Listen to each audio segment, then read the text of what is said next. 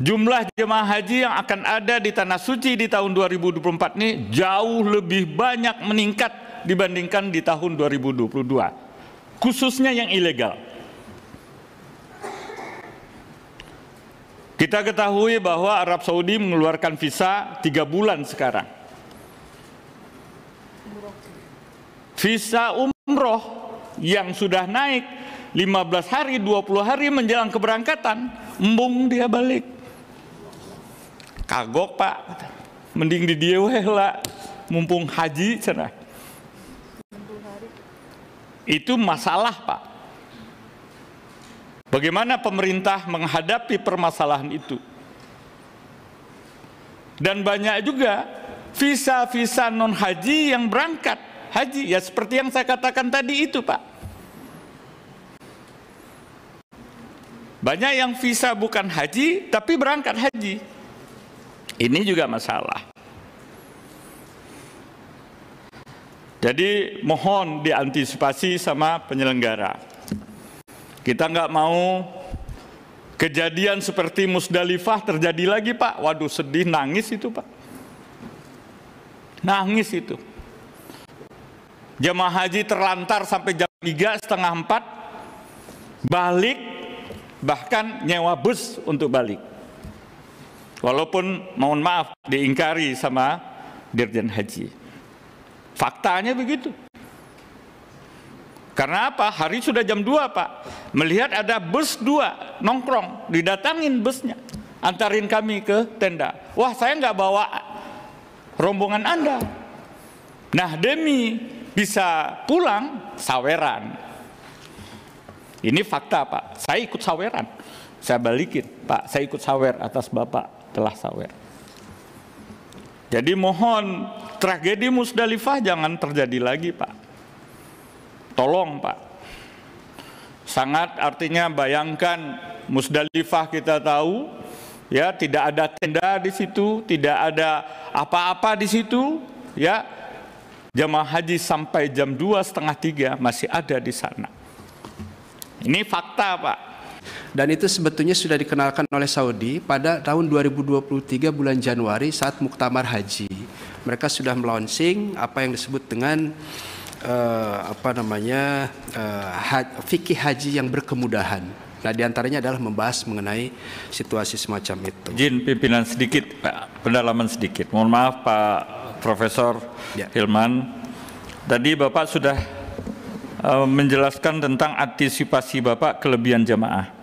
Pertanyaan saya dengan statement saya terakhir, kenapa Bapak nggak nggak larang atau pemerintah Kementerian Agama tidak melarang pemberangkatan jemaah umroh sampai sekarang gitu Pak? Kenapa Bapak? Apa alasan Bapak tidak mengeluarkan surat itu?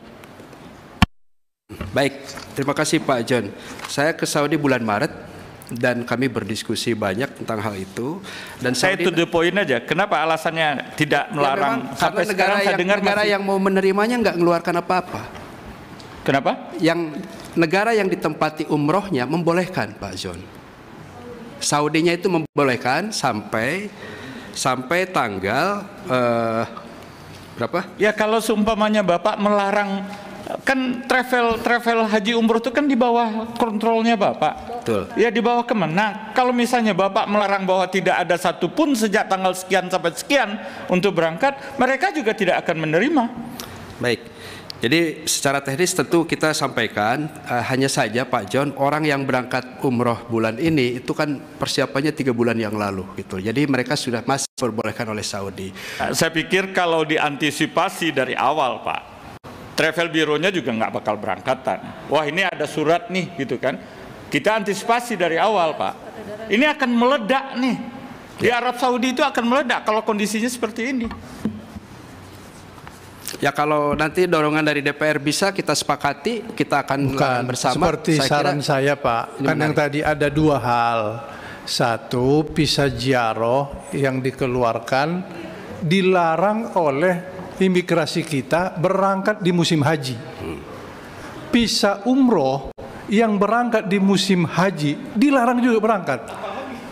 Memang orang pihak Saudi mengeluarkan, tapi kita larang, nggak boleh. Begitu sampai di imigrasi, tidak boleh berangkat di musim haji. Tapi kalau tidak musim haji, nggak ada hak kita melarang orang mau ziarah. Nah, di musim haji saja. Begitu tanggal haji tidak boleh berangkat. Artinya Kementerian Agama koordinasi dengan Kementerian Hukum. Ya. Baik, terima kasih Bapak. Jadi Ah, pimpinan. catatan kami Eh, pimpinan, pimpinan. Saya minta tambah nanti karena masalah visa ini tidak hanya Dirjen Imigrasi tapi juga Dirjen Protokol dan Konsuler Kementerian Luar Negeri untuk dihadirkan di sini. Sebab mereka itulah yang bisa mengontrol seluruh duta besar di dalam mengeluarkan visa. Masih, bagaimanapun itu tanggung jawab Kementerian Luar Negeri melindungi WNI di luar negeri. Oh, itu masih lama lah.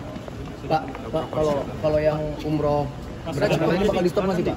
Ya, bakal memberikan imbauan stop yang buat berangkat umroh ini nggak Pak? Oh, ini kan tadi kan kita tadi kan dipermasalahkan tuh Pak. Kan ini kalau Nanti kita rumuskan ya. Kemenak nih kudu mengeluarkan SK gitu. Ya nanti kita rumuskan boleh tidaknya orang masih berangkat umroh. Kalau Saudi yang memperbolehkan, Iya. tapi kita mengharapkan dijaga. Hmm. Lagi-lagi jangan sampai orang sengaja berangkat di akhir-akhir, tapi kemudian mau melaksanakan haji, cari-cari waktu. Kira-kira begitu lah ya. Siap. Terima kasih Pak.